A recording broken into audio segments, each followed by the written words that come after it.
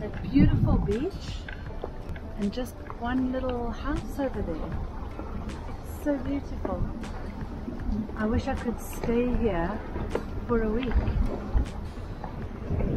But we've got bad weather coming and we have to head south. So we are heading towards Samar. Ooh, that's the mountain where the bad weather was coming over last night. Directly into us. Yeah. But we were nicely protected. we slept at least half the night. I did wake up and see I actually you get weren't very there. cheesed when you sleep so well. And you were standing on deck worrying about whether the anchor will hold. I, I don't think I'm worried about the anchor. I was worrying about uh, um, if we can make a 360 turn if the wind turns because we were right over there. Well, I was hoping we. we Had the keys in my pocket.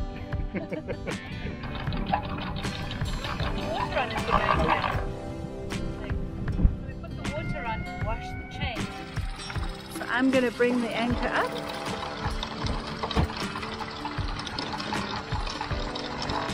And you can see over there that the, the hose is washing the chain as it comes up out of the water. This is the windlass over here. I'm just holding the remote. Bring it up. And in a while, we'll see the anchor coming up out of the water. There it comes, I can see it in the water. Okay, still got quite a lot of mud on it. I'm going to send it back down to get it a bit washed.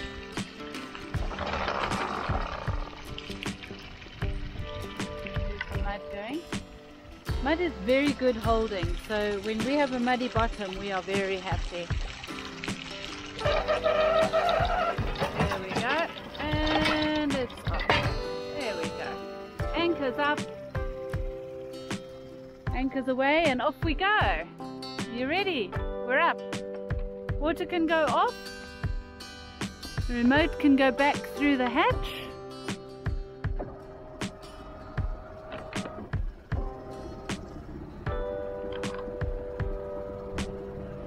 I need to go to the back to check that um, the dinghy line doesn't get caught in the rudder if Daryl is reversing. He's not reversing at the moment.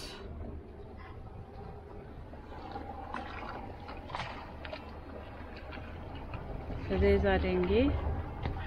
We don't normally tow it with the engine on. We normally lift it off but we've got a very short ride today and we know that some stronger southerly winds are coming so we want to get moving. We don't want to waste another 30 minutes hauling the heavy engine up on this crane over here and putting it over there. So here we go. Daryl is using the bow thruster to do a lovely turn right round and now we are heading out to sea.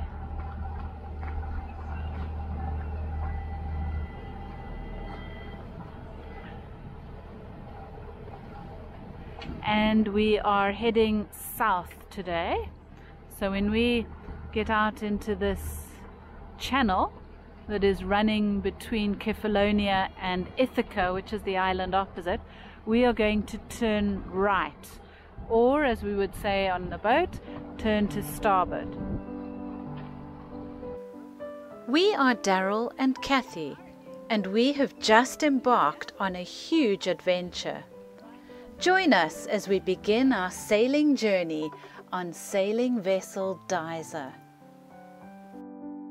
That is the cloud we've got to keep our eye on. And well, what's cool about it is blowing, um, going opposite direction. Yeah, no. Yeah. The temperature is about 19 degrees Celsius. So autumn weather is here. Um, it's the 10th of October today. And gale warning. Sorry? Gale warning for which area? Well, there is that um, big gale force wind that we saw off the west. Remember? Maybe it's moved again. Was that on VHF, Daryl, or Navtex? Oh, no radio. This time of the year, the Mediterranean is famous for having weather suddenly come up and be dangerous very quickly. It Doesn't look like it where we are.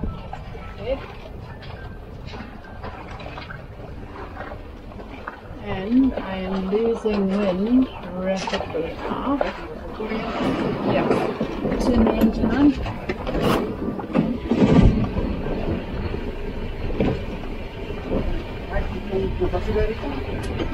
Let me just get some images here. Okay, go, go, go. Go, go, go. So one minute. Okay, wait a minute. Baby, you can't, you gotta whine, you can't, wait. Alright, You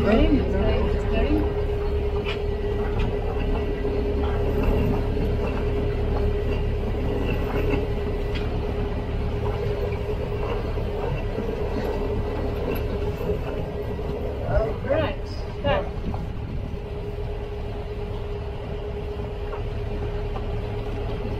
So just as we sort of came in front of that big mountain, it's acting as a barrier for the wind. Carol's tidying the ropes. And bringing in the ropes. Go over here.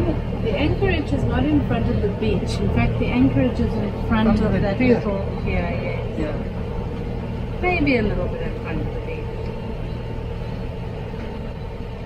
It'll be so nice to have a chart plotter you can look at through Polaroid sunglasses. Mm. Oh, it's getting hot. So hot.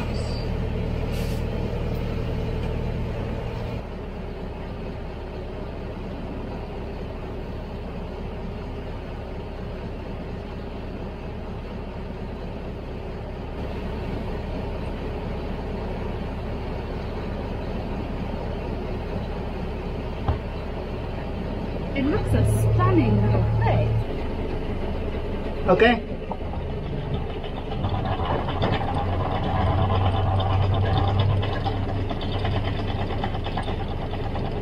What's the depth? Seven.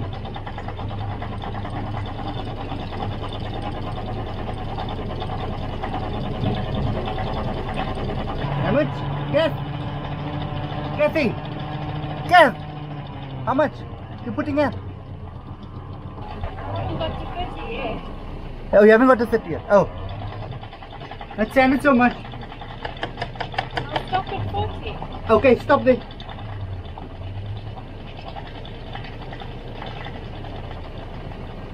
Okay. So let's show you how the dinghy is full of water. We had a huge thunderstorm last night. Fresh water. They do the washing normally. Oh, okay. That's a jolly good idea.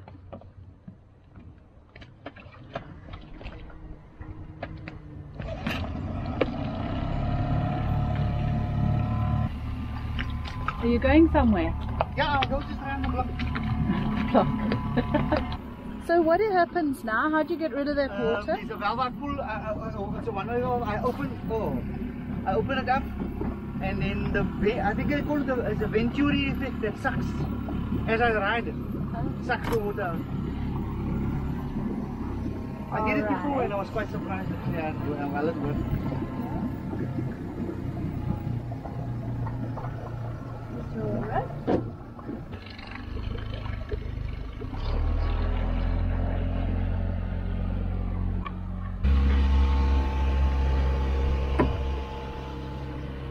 Daryl's having fun now.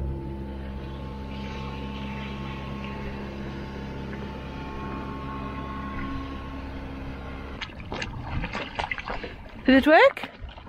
Not all of it. Okay, maybe need a little bucket or a cup or something. Okay, I'll bring you one. I mentioned earlier that we don't usually tow the dinghy with the outboard motor still on it. So here's how we actually hoist the outboard motor onto our boat. Okay, let's go.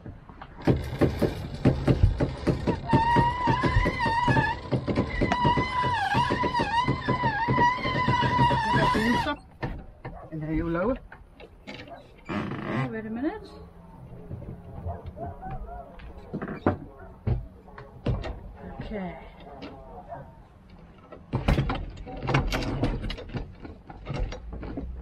Okay, lower. Um, yeah, go. Yes, we're fine. Okay, that was nine minutes from start to finish. It's our best yet. Okay, this you can, um, this you can screw there.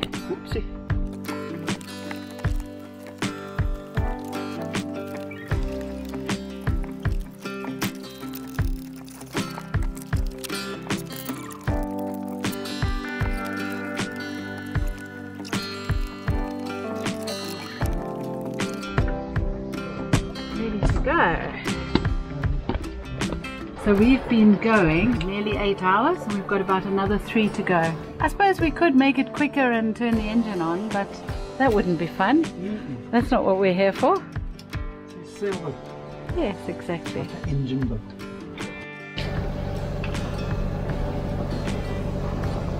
This means it's time to take in the flag. Daryl, have you got your trumpet ready? What? Your trumpet.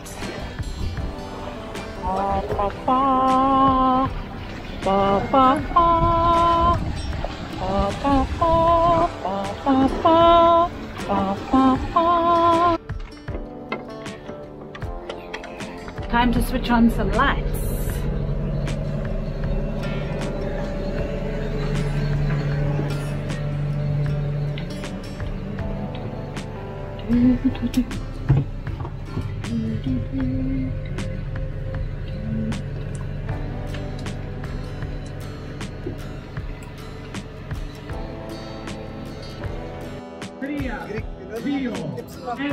Πάμε! Καλή επιτυχία σε όλους! Είστε όλοι διοικητές, καλή επιτυχία, απολαύστε την κούρσα σας. And at last we have arrived on the island of Crete. And we are going to be staying here for a couple of months in the winter.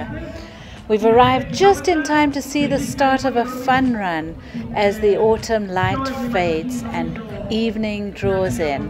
We hope you've enjoyed this video. Please do give us a thumbs up and subscribe. And remember to click the notification bell so that you never miss an episode. Goodbye till next time.